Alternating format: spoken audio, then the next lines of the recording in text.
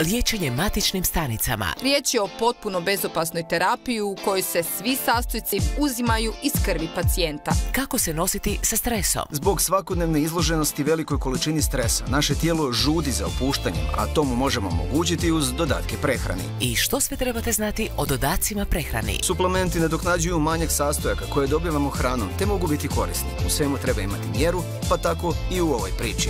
Zdravlje na kvadrat. U subotu prije podne nakon emisije Informer na Novoj TV.